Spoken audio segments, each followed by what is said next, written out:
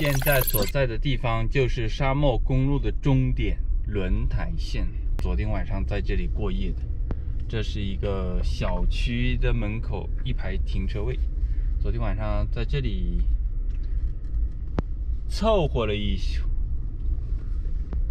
因为这个轮台县这边的建设，两百米后右转，因为这个轮台县的这即将右个，转，进入塔里木路。因为这个轮台线的建设啊，就是在旅游方面，特别是在公厕方面特别缺乏。我找了他们的公园、体育馆都没有那种右转，进入塔里木路。都没有公厕，特别差劲，所以我对这里印印象不是很好。虽然它这个整个县城的建设哈，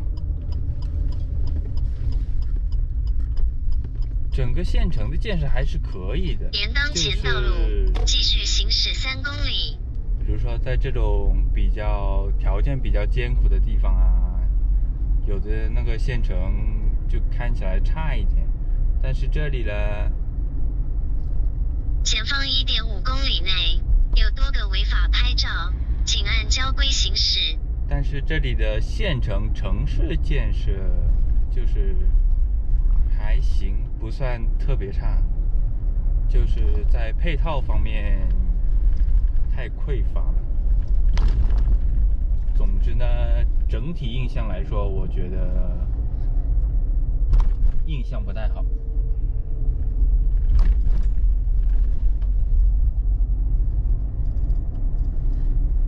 不管了，反正现在呢，下一站我要去库尔勒。去库尔勒，不晓得梨有没有熟啊？在新疆吗？最有名的瓜果，阿克苏的苹果，库尔勒的梨，吐鲁番的葡萄，哈密的瓜。那个阿克苏的话，因为没有去，前方红绿灯路口请直行，所有车道均可通行。